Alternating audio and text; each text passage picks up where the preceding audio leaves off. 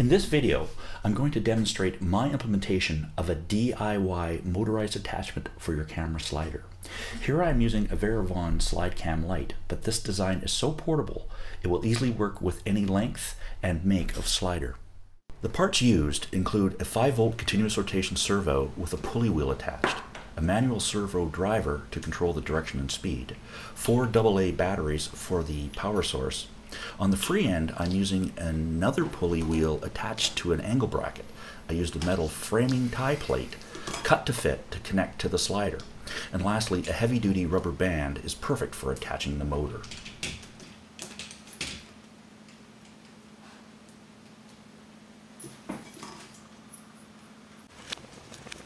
Using a rubber band has the bonus effect of providing just the right amount of tension between the drive pulley and the nylon line.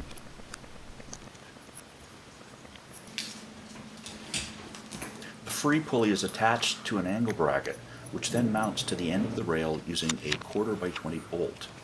It is then locked in place using a thumb screw. On the SlideCam Lite, both the pulleys are now line up perfectly with the central axis of the rail, both horizontally and vertically.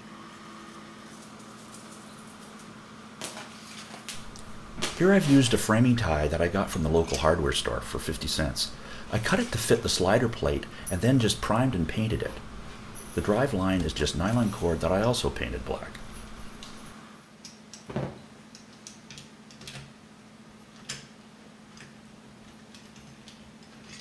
Once the tripod head is screwed on tight, the plate is locked in place.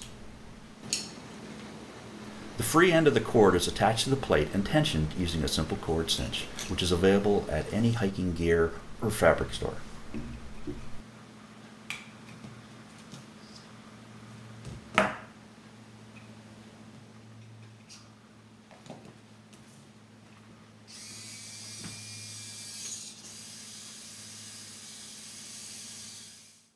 Since the servo controller is bidirectional, it passes through the stop position before changing directions. As a result, as you start the motor, it is a very smooth transition in speed from stop to full.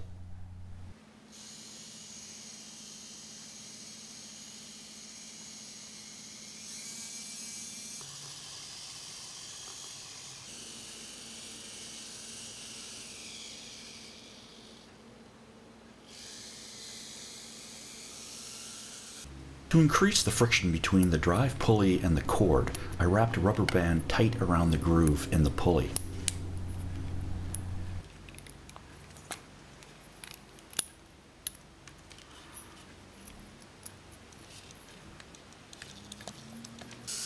As there's no special mounting tools or proprietary fittings involved here, this setup should work with any make or model of slider.